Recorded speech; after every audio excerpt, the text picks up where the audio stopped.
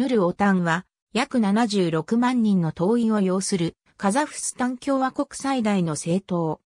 2007年以降、同国大統領であるヌルスルタン・ナザルバイフが党首を務める。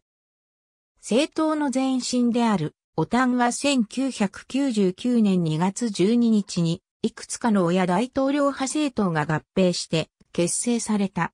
議会において新政党が出す法案はほとんどが政府を支持するものだった。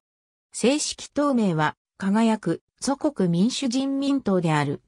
2004年の議会選挙では、オタン党は60.6%の票を獲得し、過半数以上の議席を確保した。2006年9月25日、オタンは大統領の娘のダリガ・ナザルバイフが党首を務める政党アサルと合併し、さらに4議席増やした。ダリガは党副代表となった。2006年12月、市民党と農業党がアサル党に倣い、オタン党と合併することが発表され、3分の2の議席を占めることになった。ナザルバイフは、すべての政党がオタン党に統合することを期待している。と述べた。続いて開かれた12月22日の党大会の大議員投票によって党名をヌルオタンに変更することが決まった。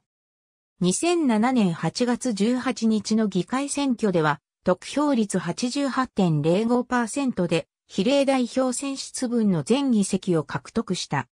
2012年1月15日の議会選挙では80.99%の得票率で比例代表制選出分の99議席中83議席を確保した。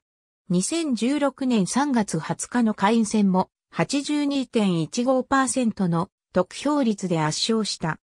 2021年1月10日執行の下院選挙では全体の71.09%を得票し76議席を獲得した。